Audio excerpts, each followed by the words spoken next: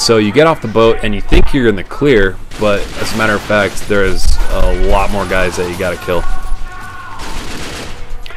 And uh, I'd recommend getting out some sort of automatic machine gun or a rifle or the AK, whatever you want, something that can fire quickly and pretty accurately. Because there's going to be three or four guys right at the start that are just going to rush you from all sorts, from all different angles. Um, and then it's going to be one guy up on that platform right there. And if you if you don't get too close, he's not a problem because he doesn't see you and he won't shoot back. Now the tricky part is getting through this next group of guys.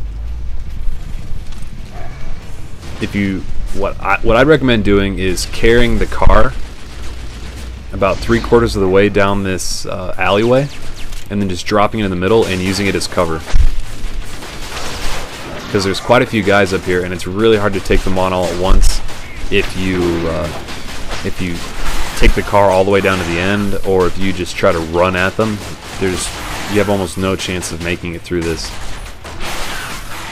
if you if you don't take some cover with you.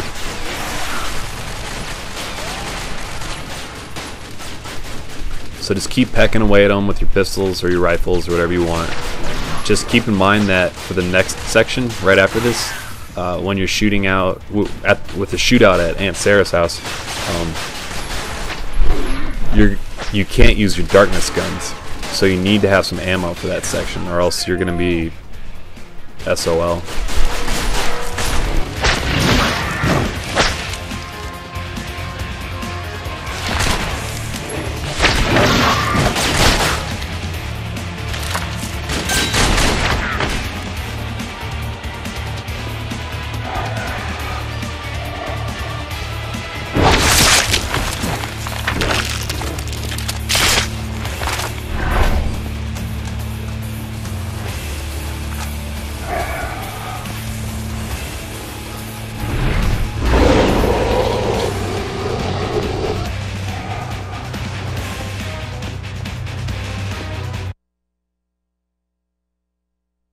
Now that Paulie's found out that the old crew's on my side, it's like some snake bit him on the heel.